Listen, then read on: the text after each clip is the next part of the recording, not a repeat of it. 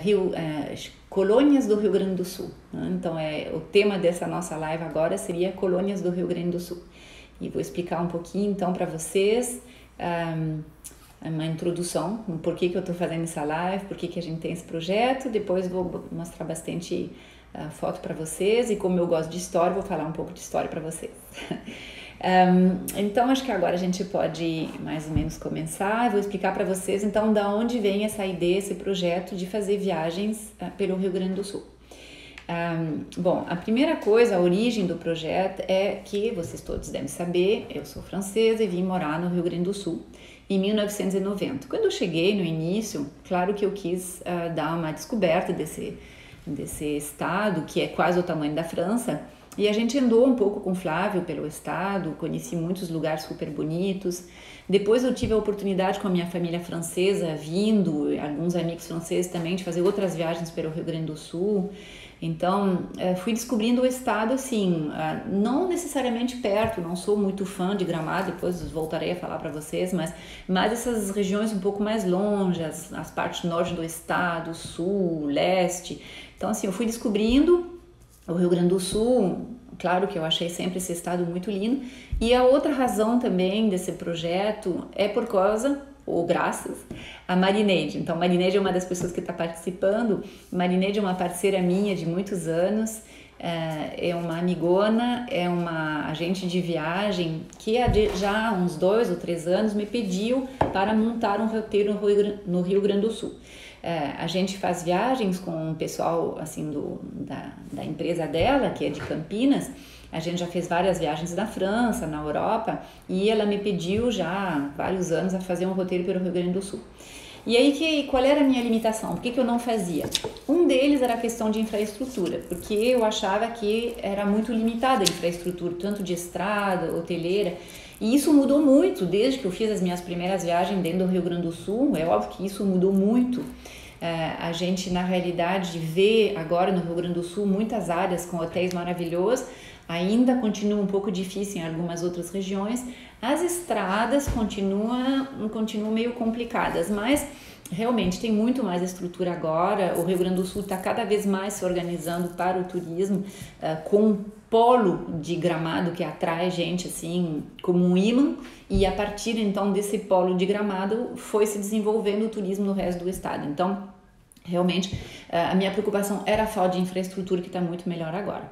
E a outra limitação para fazer esse roteiro era a falta de tempo, porque eu sempre uh, fui organizando roteiros para a França, alguns outros países agora da Europa, e aí nunca tinha tempo. Então, o que, que aconteceu? Todo mundo sabe, teve o Covid. Então, com a pandemia, tudo parou. Né? Tudo parou para mim, parou para todas as pessoas do, do, turismo, assim, tudo parou. E uh, eu uh, pensei assim, agora, assim, nesses meses passando, que de repente era a oportunidade para desenvolver esse projeto do turismo no Rio Grande do Sul. E por duas razões. Primeiro, porque eu tinha tempo de pensar no roteiro, e tem aqui uma menina também que trabalha comigo, a, a, a Vanessa, que, que é do interior do estado, que trabalhou na hotelaria também em Gramado, que, que conhece bem, que, que se apaixona por viajar pelo Rio Grande do Sul, então que me ajudou também um pouco a pensar o roteiro. É, e porque num primeiro tempo as pessoas vão ficar um pouco com medo de sair do Brasil. Então viajar dentro do Brasil acho que realmente vai ser uma oportunidade assim muito boa nesse nesse primeiro tempo. Então por isso que eu pensei, não, então agora é o momento de fazer uh, essa viagem. E a outra coisa boa para nós, assim, como Biarritz Turismo, é que essas viagens no Rio Grande do Sul, elas aconteceriam num período que a gente não leva pessoal para a França. Elas aconteceriam é, entre novembro e março, quando a gente não leva grupo, a gente leva grupo de abril a outubro. Então também seria uma forma ótima da gente trabalhar eh, nessa coisa de guiar que a gente gosta tanto e aqui dentro do Brasil. Então, no verão brasileiro, né, fugindo do, do, inverno e uh, fazendo uma atividade então aqui. Então, qual é o nosso objetivo nesse, nessa, nessa, nesse projeto de viagem? É mostrar o Rio Grande do Sul, né? mostrar a sua, a sua diversidade, a sua história, as suas tradições, as suas paisagens. Isso é o nosso objetivo. Mas a nossa, vamos dizer, a minha, a minha missão que eu sinto nesse, nesse projeto seria de fazer uh, com que a pessoa tenha um conhecimento verdadeiro do Rio Grande do Sul, não uma coisa superficial, não uma coisa que, um, eh, que pode encontrar em muitas outras uh, operadoras assim que estão oferecendo uns pacotes que são mais, vamos dizer, de, de um turismo, um, a gente diz um pouco assim, um turismo Instagram, sabe? Eu tô aqui falando com vocês no Instagram, mas um turismo de Instagram é um turismo para bater foto e só dizer assim, ó, eu fui. E a nossa ideia não é que a pessoa possa dizer, ah, eu fui no Rio Grande do Sul. A gente quer mesmo que a pessoa entenda a história do Rio Grande do Sul, um, tenha assim uma, uma qualidade, vamos dizer, de compreensão da evolução histórica do Rio Grande do Sul que levou ao que nós temos hoje. Uh, entender quais são as áreas de produção uh, industrial, agrícola, como o Rio Grande do Sul vive, de que que vive o Rio Grande do Sul. Então a, a minha a nossa pretensão é poder montar um roteiro que permite uh, entender o Rio Grande do Sul nessa, na sua parte histórica, geográfica e também uh, de população, como por que o Rio Grande do Sul chegou aonde está. Então, isso é a nossa ideia, né? fazer um roteiro que realmente seja um roteiro, um roteiro cultural. E com isso também uh, proporcionar experiências uh, dentro do convívio entre o grupo, uh, com as pessoas que as pessoas vão encontrar durante o roteiro, que seja então um convívio muito rico e que a pessoa possa voltar assim com essa sensação que ela, que ela realmente aprendeu alguma coisa, ok? Então, nós, nós vamos agora, eu vou colocar um pouco de, de, de fotografia uh, e, e vou, então, não, primeiro uns mapas uh, para explicar as coisas do Rio Grande do Sul e depois vou botar as fotografias do nosso, da nossa viagem. Por quê? Eu acabei de fazer uma viagem, então, com o Vitor, que a gente foi encontrar uh, os lugares que a gente tinha escolhido, a gente foi encontrar as pessoas, uh, a gente viu alguns hotéis, alguns fornecedores. Não vou falar tanto dos hotéis e dos lugares especificamente, porque a gente ainda está fazendo um pouco uma seleção. Então, vou falar muito mais das regiões que a gente uh, vai, que a gente viu e que vocês vão conhecer se forem viajar e que vocês vão conhecer agora por essa live, não tanto do fornecedor em si, muito mais das regiões, mas para isso eu vou começar uh, falando um pouquinho um, do, da história do Rio Grande do Sul, porque na realidade, para uh, ah, vocês entenderem por que, que a gente vai fazer o roteiro dessa forma, então eu quero explicar um pouquinho para vocês um, o, um, o projeto, da onde veio o projeto. Então, eu vou colocar essa primeira imagem aqui, que é um mapa turístico normal do Rio Grande do Sul que é muito bem feito, é feito assim pela Secretaria de, de Turismo. E ali, não sei se vocês conseguem ver, porque a imagem fica um pouco pequena, mas uh, vocês podem ver que o estado é dividido assim em áreas de pecuária no sul, uh, aquelas áreas das missões bem lá no, no nord, nordeste. Uh, as barragens hidroelétricas, a parte industrial mais perto de Porto Alegre, vocês podem reconhecer aqui a área de mate também, uh, toda a parte do vinho e assim por diante. Então, esse mapa aqui já dá uma pequena ideia mas claro que ele é um mapa assim muito resumidão. Né? Então eu queria mostrar só para vocês terem uma ideia. Mas na realidade uh, eu quero utilizar esse mapa para vocês entenderem melhor como a gente pensou o roteiro. Uh, alguns de vocês devem conhecer muito bem o Rio Grande do Sul, mas não necessariamente todos. Então, o Rio Grande do Sul é um estado que tem toda a parte norte coberta assim por uma um planalto, né, uma parte assim mais montanhosa, que chega a uma altitude em torno de mil metros, e a parte sul do estado, que tem uma planície assim no, no, no meio, e depois tem mais uma outras formações uh, montanhosa, mas bem mais baixo na parte da campanha. Então, grosso modo, o estado está dividido em duas regiões, norte e sul. Se a gente pega esse mapa aqui, vocês vão ver que tem uma divisão que muitas vezes é feita em cinco regiões. O Planalto Meridional, que é essa parte central que eu falei para vocês, que vem de um derramamento uh, basáltico que aconteceu, se eu me lembro bem, na, na era terciário ou secundária, não me lembro, mas muito, muito antigo, uh, que, que cobre todo o estado de, do Paraná, Santa Catarina e norte do Rio Grande do Sul.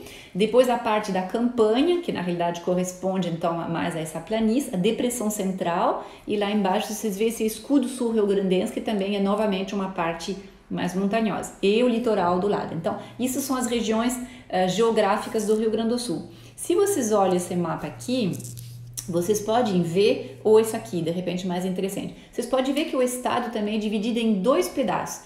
o pedaço norte que a gente chama o bioma da Mata Atlântica. Então, toda essa parte norte do estado, que corresponde a essa parte mais montanhosa, aonde tem tinha florestas uh, de Mata Atlântica, que depois aos pouquinhos foram desmatadas, hoje a gente não, não encontra tanto, mas então um bioma que corresponde àquele com os araucárias, com essas florestas tão bonitas, e a parte sul que a gente chama Pampas.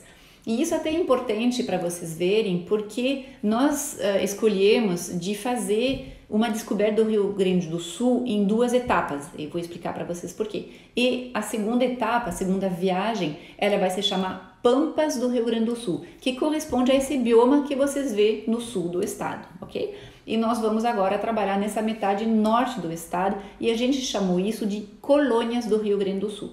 Por que, a gente chamou isso de colônias do Rio Grande do Sul? Se a gente pega esse mapa, é o mapa dos municípios do Rio Grande do Sul.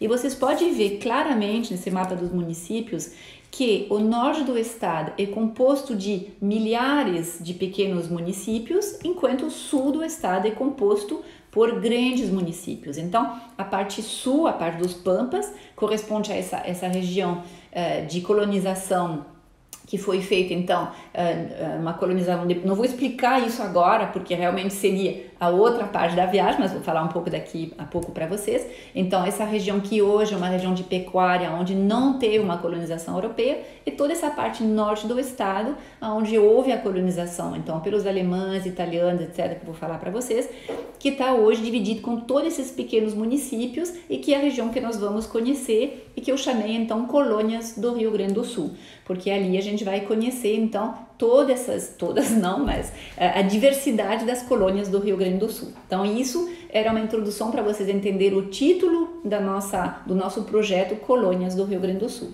ok? Então aqui uh, o que eu quero mostrar para vocês que é muito importante é o seguinte. Então voltamos aqui, porque a viagem uh, começa pela região das missões. Depois vocês vão ver pelas fotos que para chegar até a região das missões a gente passa por outros lugares.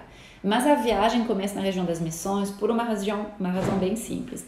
E que na região das missões nós vamos explicar a história do Rio Grande do Sul e as pessoas vão poder entender que tudo decorre dessa, uh, dessa experiência missionária jesuíta que teve no Rio Grande do Sul. Então, nesse mapa aqui, vocês podem ver, uh, aqui tem também o norte do Brasil, né, onde teve também outras missões, mas no sul do Brasil vocês veem que teve missões eh, foram no total 30 missões que foram colocadas entre o Brasil, o que seria hoje assim, o Brasil, o Rio Grande do Sul, um pouco Paraná e o Paraguai e o Uruguai.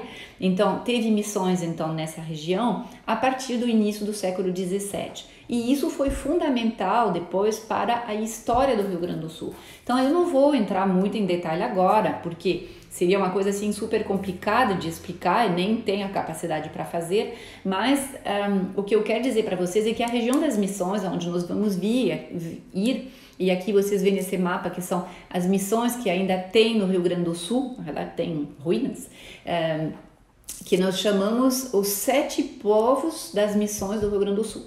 Então, nessa história das missões, para fazer um resumo, hiper resumão, num primeiro tempo, no, do início do século XVII, os jesuítas chegam em vários lugares, uh, depois começam os ataques dos bandeirantes, então as, uh, os, os soldados, assim, não sei se a gente pode chamar soldados, são pessoas que vêm para pegar uh, os índios, porque uh, pelo que eu li assim num livro de, história, os holandeses estavam trancando o mercado negreiro, então uh, como não conseguiam mais poder comprar escravos da África, os, as pessoas de São Paulo precisavam de escravo para alimentar o mercado de cultivo do açúcar, etc. Então, eles começaram a tentar capturar os índios para escravizar eles. E nessas bandeiras, então, nessas missões dos bandeirantes para capturar os índios, eles vieram até o Rio Grande do Sul e nesse momento, então, os jesuítas vão se refugiar do outro lado do rio e vão deixar as missões do lado do Rio Grande do Sul. Então, as missões vão continuar, mas mais do lado do Paraguai e da Argentina.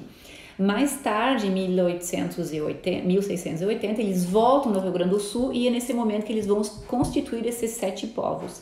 E esses sete povos, então, vão existir no Rio Grande do Sul entre uh, 1686, me parece que é a primeira data, até 1750.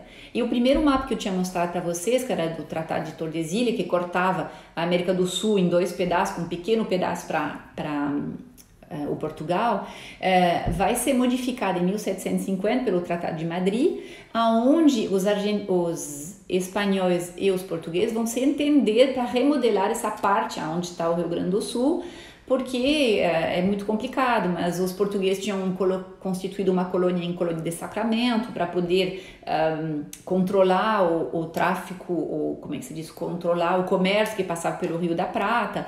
Então, os espanhóis não querem que colônia de Sacramento seja dos portugueses, então eles vão se entender, eles vão fazer uma troca e as missões, então a região das missões do Rio Grande do Sul, que fazia parte da terra dos espanhóis, então eles vão fazer uma troca. Os portugueses dizem, ok, a gente devolve o colônia do Sacramento, mas a gente quer as missões. Então, toda a parte das missões que ficavam do lado de cá do Rio Uruguai, então no, no que é hoje o Rio Grande do Sul, vai passar para o Portugal. Só que o Portugal não quer saber dos jesuítas. Então, vai ter o que a gente chamou as guerras guaraníticas. Então, os povos uh, vão, os povos vão uh, ah, eu vou. Agora eu estou vendo que eu tinha desativado os comentários. Desculpa, eu ativei de novo se vocês querem colocar um comentário.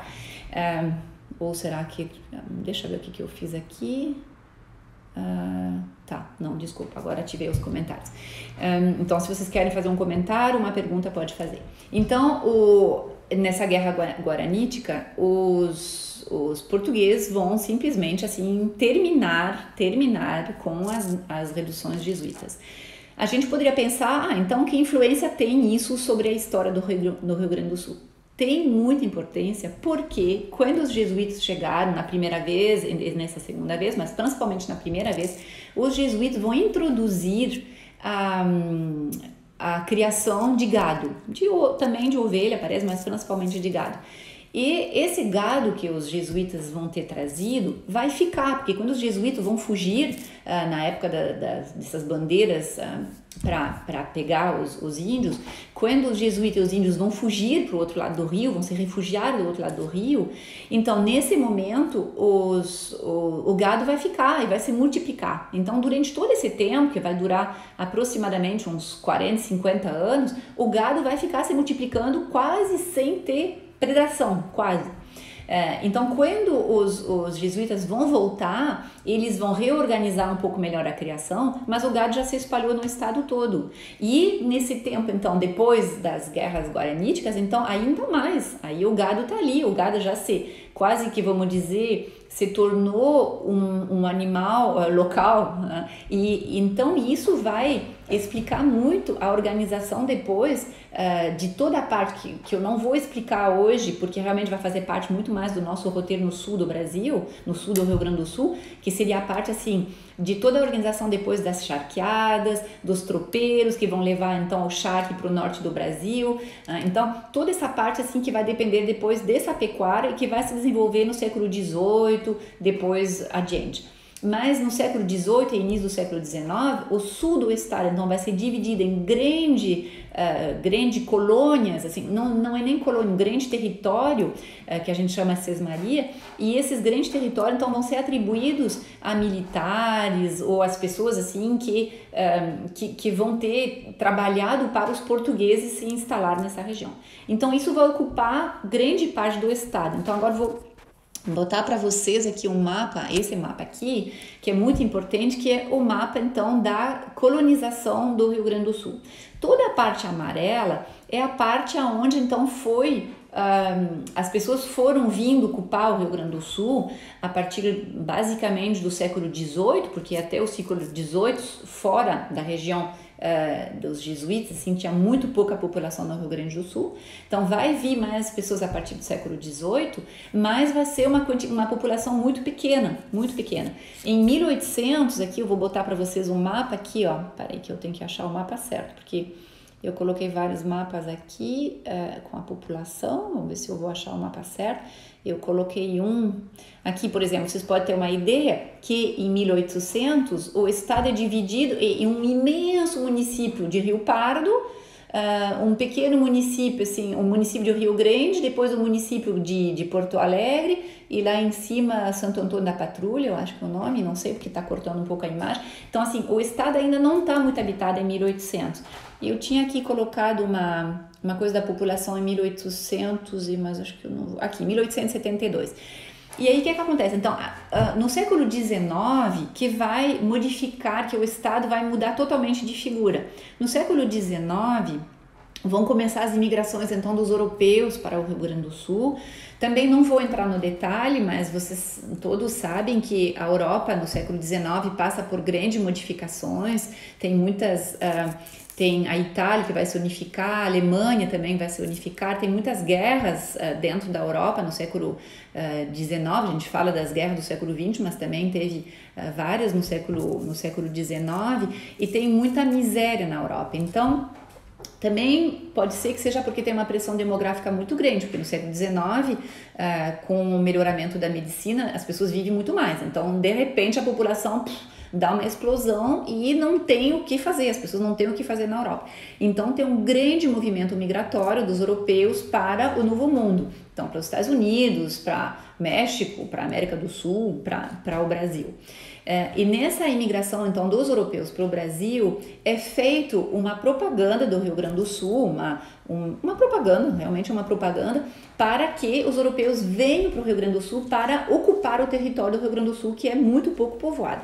Então, o Rio Grande do Sul vai propor aos europeus uma, uma estrutura muito boa para eles virem. Eles vão oferecer lote de terra, uh, eles vão oferecer uh, muitas vezes ferramentas, semente, estrutura, vão receber os, os colonos assim da melhor forma possível.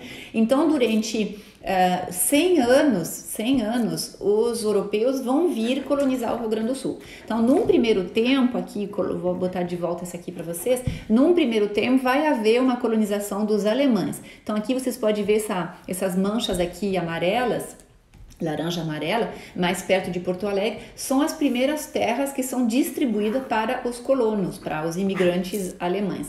Uh, esses imigrantes alemães, Uh, essa, esses imigrantes alemães, eles vão se instalar nas melhores terras que tem, porque na realidade uh, nessa parte acima de Porto Alegre, que seria a base desse planalto, uh, não é bom para a pecuária, para soltar o gado, já é montanhas, já é um relevo mais complicado, porém é umas terras muito férteis, porque elas são na base desse, dessa desse, como é que a gente chama, planalto uh, do norte do estado, então terras muito ricas e muito perto de Porto Alegre. Então, na realidade, vamos dizer que os alemães pegaram as melhores terras, a gente pode dizer. Então, primeiro os alemães vão chegar a partir de 1824, me parece, e até os anos 1870, mais ou menos, os alemães vão vir no, no estado.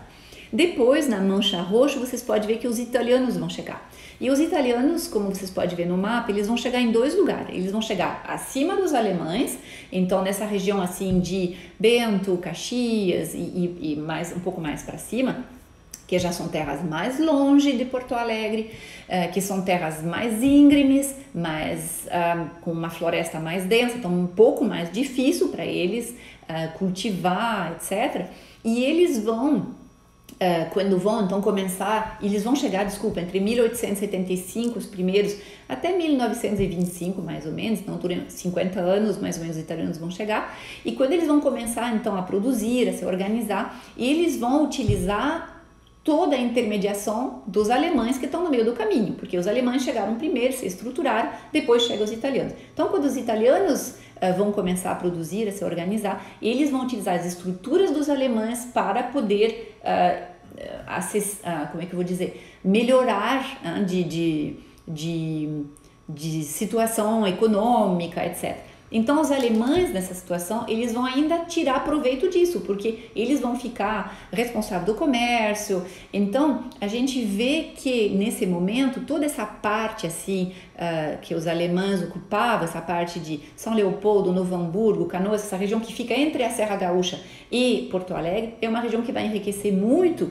porque os, o, a riqueza que é gerado pelos novos colonos italianos vai enriquecer ainda mais a colônia alemã. Então hoje a gente vê nitidamente no Rio Grande do Sul essa parte assim que está logo acima de Porto Alegre, que é uma região realmente muito muito rica Uh, e logo acima a região italiana, então que demorou um pouquinho mais para se desenvolver.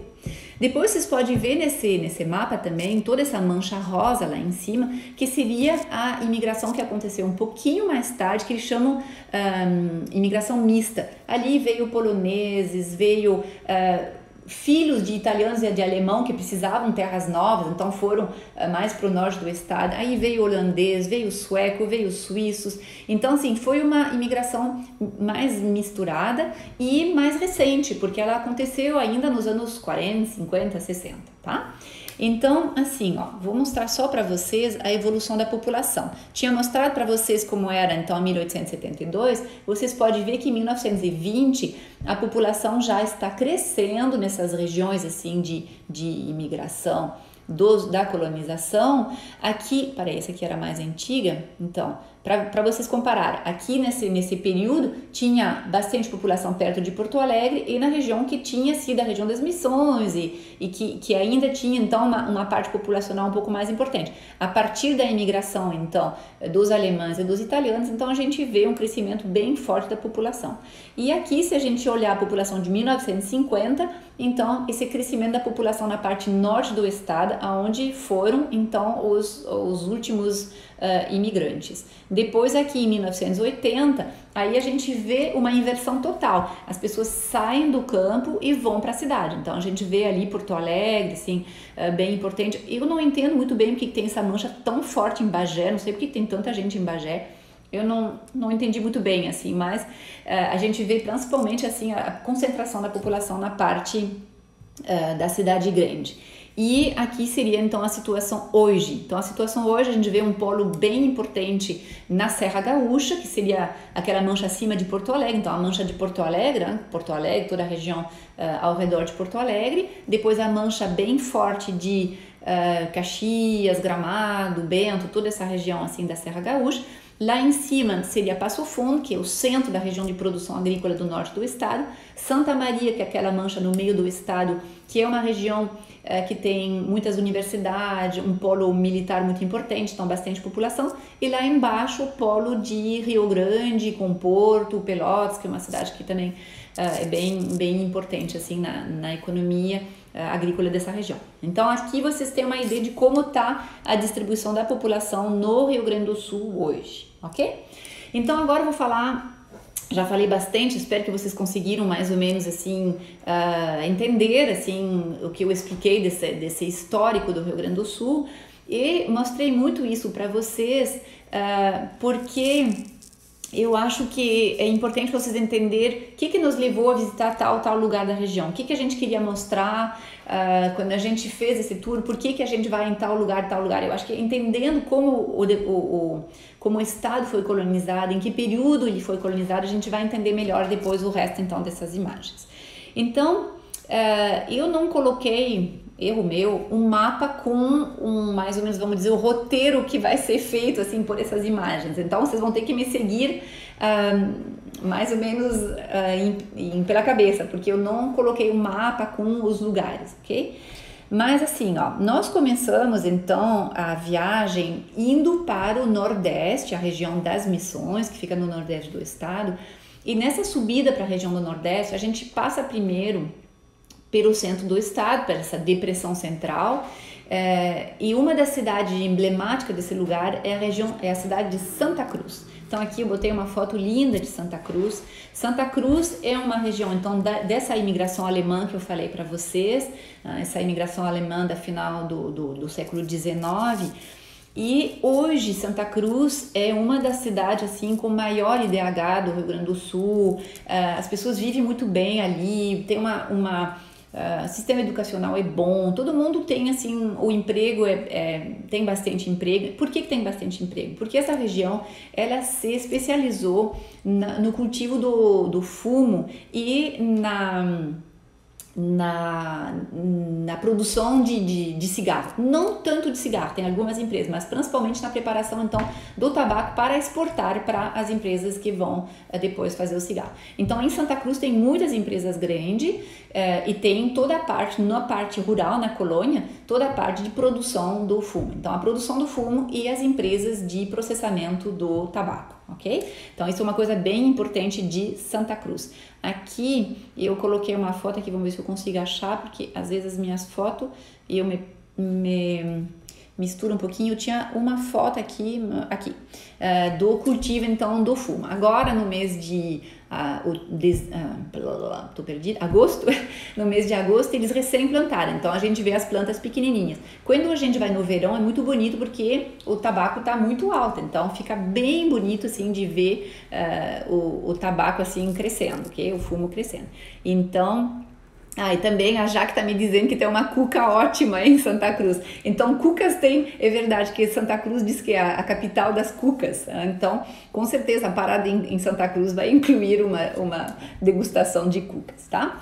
E aí a gente segue então para dentro do estado e a gente vai para uma área que se chama Quarta Colônia. Uh, não vou botar de volta aquele mapa da colonização, mas tinha uma manchinha uh, da, da imigração italiana nesse lugar do centro do estado. Essa tal da quarta colônia, ela fica perto de Santa Maria. E é um lugar de imigração então italiano é, que desenvolveu uma rota que eles chamam Rota da Gastronomia, Rota da Imigração e da Gastronomia.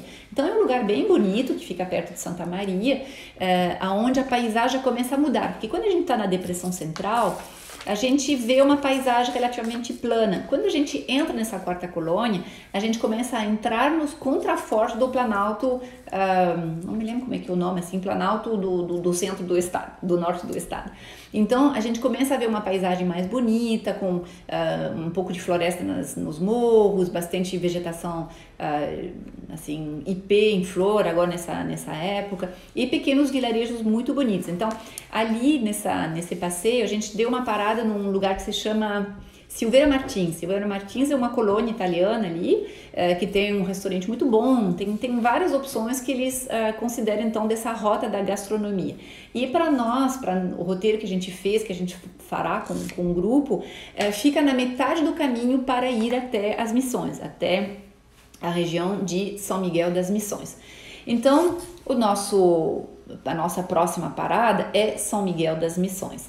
Então, uh, por que, que a gente vai a São Miguel? É porque é a única uh, missão uh, jesuíta que ainda tem vestígios assim consequentes, que tem alguns lugares tem uns pedaços de muro nas outras, nos outros sete povos.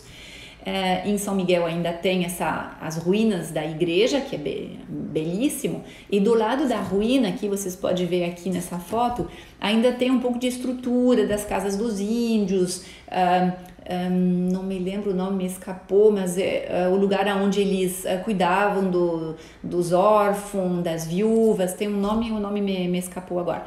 E então, na, na, na redução, eles chamam redução, é, inclusive vou explicar para vocês por que uh, essas cidades uh, jesuítas se chamava redução, porque o número de pessoas era limitado. Eles queriam uh, fazer estruturas de cidade assim, com máximo de 7 mil pessoas. Na realidade, às vezes passou um pouquinho desse número, não me lembro se era 7 ou 9 mil. Eu sei que algumas reduções chegaram a ter 12 mil pessoas, mas a ideia era de ficar no número relativamente pequeno de pessoas e todo mundo morava nessa estrutura uh, que era ao redor da igreja. Então tinha a igreja, tinha uma praça grande no meio e tinha as casas dos índios, tinha as escolas onde eles aprendiam o latim, a escultura e a música. E foi uma experiência que durou mais ou menos um, 75 anos, 75 anos, entre 1680 e 1750, eh, de civilização ah, quase que, vamos dizer, perfeita, porque eh, as pessoas, os, os jesuítas e os índios tiveram uma troca mútua. Os índios ensinaram muitas coisas também para os jesuítas, os jesuítas ensinaram muitas coisas para os índios, e era uma, uma sociedade que vivia protegendo os mais fracos, que eram os órfãos, as viúvas, e organizando então o trabalho em comunidade e criando assim coisas maravilhosas, de coisa extraordinária de, de ver. É, eu só vou pedir ajuda para o Vitor. Vitor, eu preciso me conectar aqui porque eu estou ficando sem bateria. Se tu puder pegar o cabo ali, obrigada. É, então fiquei um pouco mais escura aqui porque eu botei em baixa para não gastar muita energia, mas a gente já vai botar um pouco de energia. Aqui tô vendo que a Rose está me perguntando quando será feita a programação. Eu vou falar depois, mas o projeto é para é novembro, tá? Então, uh, em São Miguel das Missões, a gente visita então uh, esse sítio uh, arqueológico, vamos dizer, esse sítio histórico, com as ruínas que tem, e ali então a gente faz essa, essa visita com uh, uma guia que vai nos explicar então toda a história e a gente vai visitar também, olha aqui, ó, uh, o museu. Aqui, acho que nessa foto, não, não é nessa foto, mas eu vou achar a foto. Aqui, ó, vocês podem ver que além da igreja, então tem um museu que foi uh, feito assim por Lúcio Costa nos anos 1940, me parece, aonde tem os acervos então de obras um, de obras barrocas feitas pela, pelos índios. É realmente uma coisa muito interessante, muito bonito de, de, de vivenciar. E de noite tem um espetáculo de som, de som e luz que não aconteceu agora porque está nesse período do Covid, mas eu já vi o espetáculo algumas vezes e é uma coisa espetacular, é muito lindo mesmo, muito lindo. E um, a gente chora, a gente chora porque é tão bonita a maneira que é apresentada, a gente entender essa história e, e, realmente vale a pena essa, essa apresentação. Aí a ideia é que no dia seguinte, quando a gente a gente vai ficar dois dias, na realidade, lá nas missões, para ter tempo de ver direitinho. E depois, quando a gente vai sair, então, de São Miguel, nós vamos passar em Santo Ângelo. Tá procurando meu carregador? É. Isso lá. Isso, aqui. Ah. O, então, o... Desculpa, me perdi um pouco. Uh, em Santo Ângelo, vocês estão vendo essa imagem aqui da Catedral de Santo Ângelo. O interessante é que a Catedral de Santo Ângelo ela foi feita em 1930, mas ela foi, ela foi reconstruída, já teve várias catedrais nesse lugar, inclusive na época das missões, a igreja jesuíta ficava nesse lugar. Mas em 1930, quando eles vão reconstruir a igreja, eles vão reconstruir ela exatamente sobre o plano da Igreja de São Miguel das Missões. Então é muito interessante a gente visitar a Catedral de Santo Ângelo, porque a gente conhece uh, como era a Catedral de São Miguel. Então isso também é uma coisa muito interessante de fazer. E a outra coisa que nós vamos ver ali, vamos ver se eu acho a foto, essa aqui. É um pórtico que tem lá em Santo Ângelo, onde são representados 30 povos ah, das missões. Então a guia também poderá nos explicar bem essa questão dos 30 povos que ficam em diferentes lugares do, do, do Paraguai, Argentina e do Rio Grande do Sul, ok?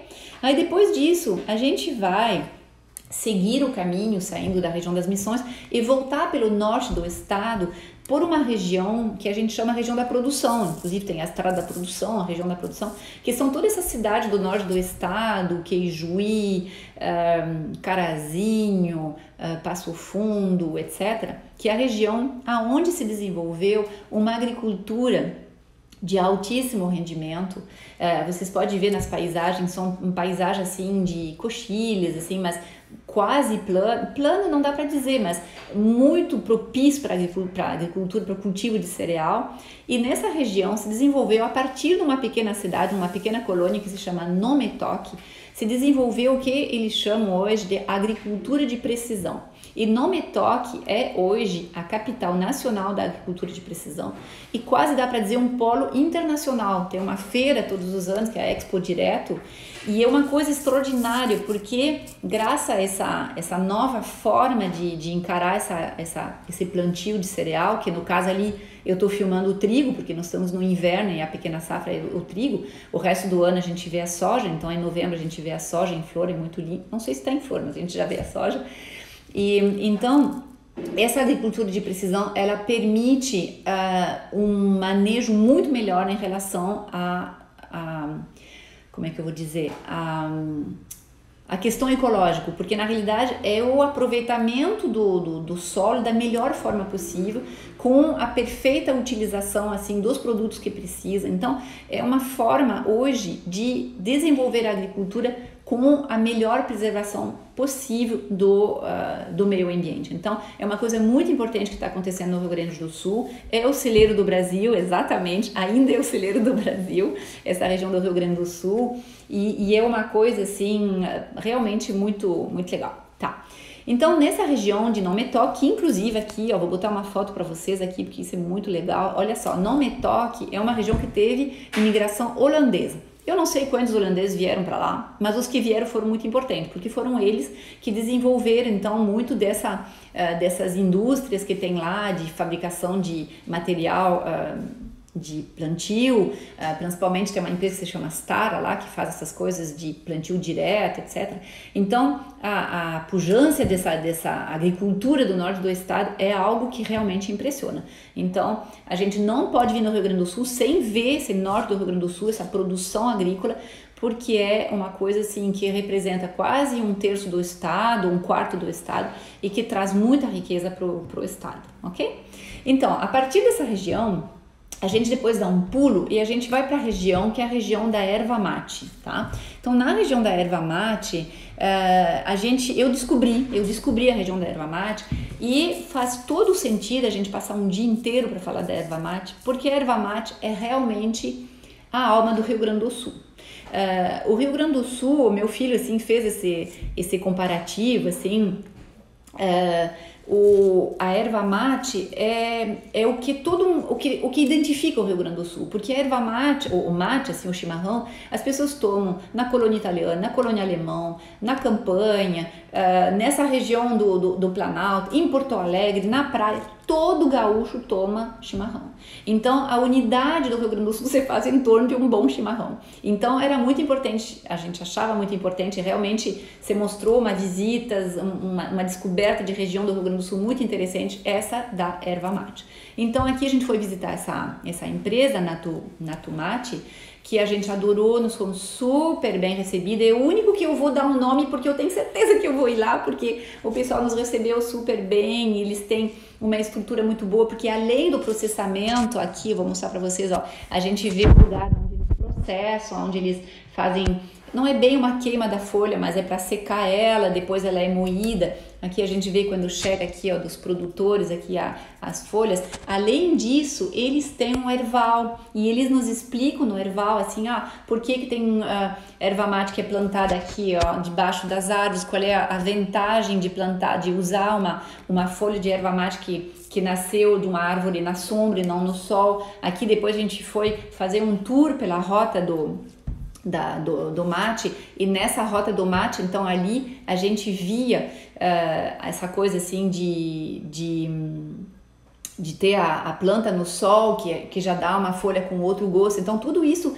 eles realmente assim explicam. Então, isso é uma coisa assim bem interessante. Uh, assim, a Marta está me perguntando em qual cidade fica isso. Então, uh, essa, o, o, centro do, da, do mate é Arvorezinha. Eu acredito que o nome da cidade é por causa da erva mate, porque a erva mate ela é numa, numa, numa pequena uh, cidade, assim essa cidade de Arvorezinho concentra a maior quantidade de, de uh, indústria de processamento de, da folha de erva mate. Então, acho que é por isso que a cidade se chama Arvorezinho. Porque como vocês podem ver nessa foto, até parece que eu estou batendo foto de oliveiras, mas não, são erva, erva mate. é, a, a erva mate é, é, eles podam a árvore para utilizar só os rebrotos. Então, ficam umas árvores pequenas, umas arvorezinhas. Então, de repente, por isso que a cidade é, se chama arvorezinha, ok? É, então, é, o que é bonito ali seria o que nós vamos programar, é visitar essas, essas fábricas que processam, que explicam uh, a diferença, assim, por que, que tem que uh, que processar dessa forma, por que, que a erva tem que ficar na sombra ou não. Então, tudo isso é super interessante. E depois entrar na colônia, assim, passar nesses lugares onde estão plantadas os ervais e ver que essa região, que é uma região bastante grande, assim, do, do Rio Grande do Sul, uma, um miolinho, assim, do estado, aonde é plantada a erva mate, nessas coxilhas. Me, me lembrou muito, quando eu estava andando por essas estradas, me lembrou a Colômbia com, a, com as suas, os seus cafezais. Então, são paisagens muito bonitas. E uma coisa interessante é que eles associam com, com a erva mate, eles associam um, nogueira, uh, noz pecan. Então, para fazer sombra para a erva mate, porque é melhor, então os, alguns produtores optam para fazer noz pecan e erva mate. Então, é super interessante, assim, é super, super legal essa, essa parte, ok? Então, depois da erva mate, a gente acaba chegando então na região de Bento, a região uh, da Serra Italiana, ok? Porque se a gente, se vocês pensam o roteiro, a gente foi direto até o leste do estado e a gente foi voltando. Então, na região da produção, que seria o centro-norte do estado, depois a gente entrou nesse, nesse centrinho, que é a região da erva mate, e a gente chegou já na parte mais oeste do estado, no norte, na parte assim da, da montanha, no oeste do estado, que é a região italiana. Então, na região italiana tem algumas fotos aqui. Aqui é uma, uma ponte assim de, de travessia do, do Rio das Antas, mas um, aqui uma, uma barragem que tem no Rio das Antas. Aqui vou mostrar também aqui se eu consigo achar a paisagem do Rio das Antas. Então, é, a, a, parte assim italiana, ela tem paisagens naturais assim muito bonitas, porque é uma região, uma região que tem essas montanhas, é, realmente muito bonito. Mas as pessoas não vão tanto nessa região pelas paisagens, as pessoas vão na região de imigração italiana, muito mais por causa do vinho, né? porque a região italiana, então, ela desenvolveu, uh, desde a vinda dos italianos, a vitivinicultura. Então, nessa nossa estadia em Brento, nós vamos fazer uh, visitas de uh, vinícolas. E a nossa ideia é, na realidade, de fazer duas visitas. Fazer uma visita, assim, que seria, vamos dizer, mais...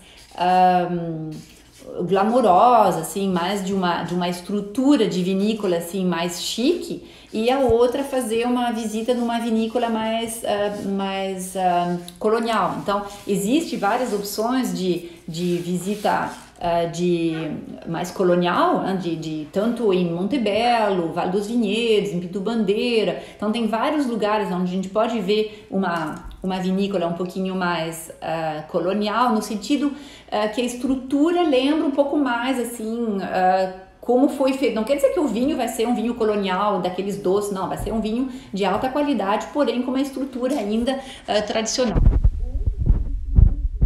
Aqui a foto de algumas vinícolas que tem estrutura assim super, super linda, super moderna, assim. Eu vou ver se eu consigo achar, mas não sei se eu vou conseguir, porque ah, vou ver se eu consigo achar. Aqui, por exemplo, esse aqui é um wine garden que tem, aqui no caso é na Cave Gás, mas a Dom Giovanni tem também, a Salton tem também, a Miolo tem também. Então, tem muitas vinícolas uh, maravilhosas, então, uh, de espumante, realmente aqui é mais de, de, de espumante. Então, tem muitas vinícolas para fazer degustações de altíssimo padrão e de um lugar, assim, sempre super charmoso. Então, isso a gente vai fazer porque os, os italianos, assim, da Serra, eles conseguiram, assim, realmente desenvolver agora um novo turismo que é de experiência, que a pessoa tem essa oportunidade de degustar, de conhecer e de, de ficar em lugares belíssimos. Então, realmente. Opa, deixa eu ver se eu consigo aqui ah, eu vejo que tem um monte de perguntas, mas eu vou pegar as perguntas no final, ok, gente? Eu vou terminar o roteiro e depois eu, eu vejo as perguntas com vocês, ok? Então aqui eu só tinha aqui, eu queria mostrar também isso para vocês. Nessa região italiana também tem bastante árvores frutíferas, então as paisagens também são bonitas, com pessegueiros, macieiras, então é muita, muito bonito também essa questão de, de paisagem. Aqui, por exemplo, seria na Vila Argenta, que já é uma empresa maior, com uma, uma grande produção, eles têm uma estrutura também para receber maravilhosa, é, Flores da Cunha, então na região do, do, da Serra Italiana realmente tem, tem muitas opções, ok? Depois dessa região então eh, italiana, o que, que nós vamos fazer? Nós vamos ir até, sim, dormiremos uh, em Bento, na realidade a ideia é, ainda não está decidido. É bem provável que seja no Vale dos Vinhedos, mas a parte assim da hotelaria a gente ainda está determinando, determinando, tá? E a questão da alimentação, sim, nós vamos sempre colocar uh, uma refeição por dia que vai ser uma coisa típica daquela região, ok? Algumas degustações também vão estar tá incluídas. Então, da região italiana, nós vamos pular para os campos de cima da serra, porque a gente quer deixar gramado no final, ok? Por uma razão uh, prática, que as pessoas costumam fazer compras em Gramado, então a gente vai deixar para o final.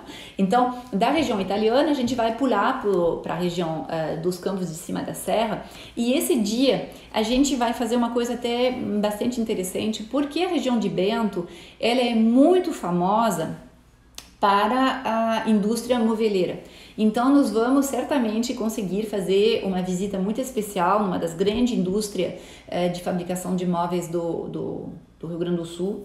E isso é uma coisa interessante, claro, a gente não vai passar muito tempo na fábrica, não é objetivo, mas é para entender assim como isso traz riqueza para o estado, para entender uh, como isso uh, foi evoluindo uh, dentro da história do, do, de Bento, do Rio Grande do Sul, e associar isso com as plantações gigantescas que nós vamos ver nos campos de cima da serra de pinos porque uh, para fornecer toda essa indústria moveleira de, de Caxias, de, de Bento, precisa muitas árvores.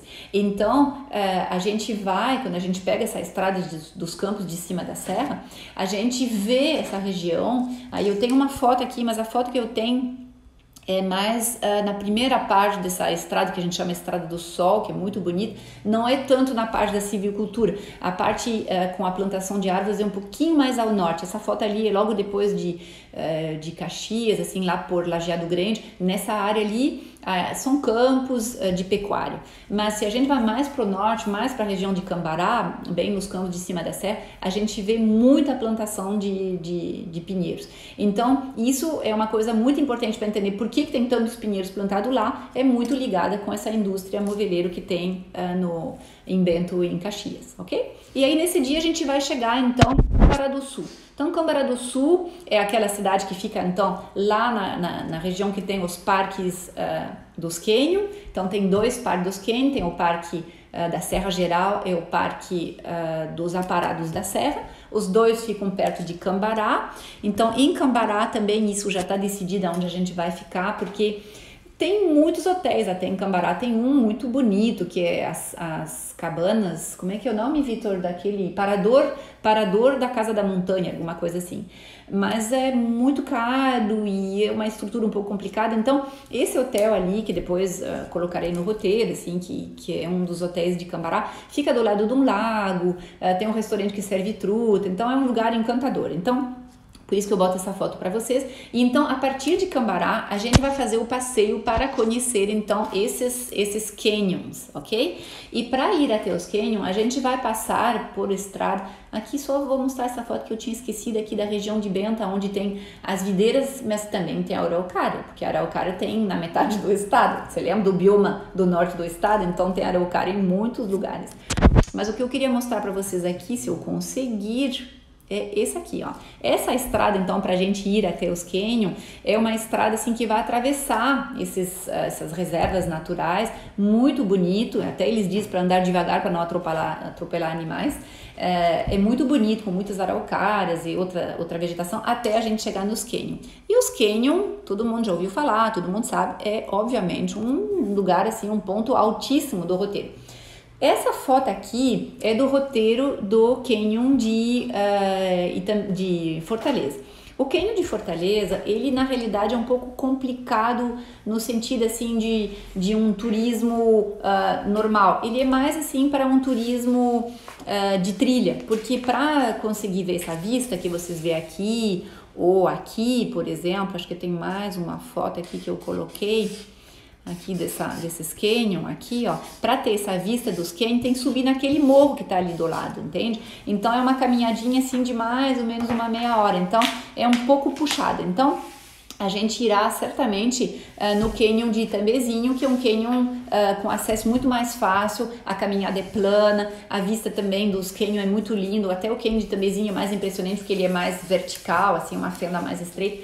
Então a ideia é mais de visitar o Canyon de Itambezinho, ok? Então isso é um passeio assim pela paisagem, para o interesse da paisagem, é realmente belíssimo. E saindo de Itambezinho, nós uh, faremos uma parada em Cambará ainda, num lugar assim que a gente descobriu, que a gente adorou, assim, nesse senhor aqui, nessa família querida. Uh, eles têm uma, uma estrutura assim colonial uh, típica dessa região, assim, que é uma região de que eu falei para vocês de pecuária, aonde tem a possibilidade então da gente fazer um super churrasco, assim, aquele churrasco na vala, aquele que eles vão fazer uh, o fogo no chão e vão fazer um costelão. Então isso vai ser também uma coisa muito legal de descobrir essa parte da culinária do Rio Grande do Sul, uh, que seria um churrasco um, tradicional, ok? E nesse, nesse lugar deles, muito bonitos, tem uma cascata muito linda. Então realmente assim, esse lugar é super bonito em Cambará do Sul, ok? E depois disso, a, o Canyon é fronteira com Santa Catarina, exatamente. O, os Canyon, na realidade, eles têm a parte de cima, eles têm a parte de cima que é uh, que pertence ao Rio Grande do Sul e a parte de baixo, baixo que, que pertence ao Santa Catarina, ok?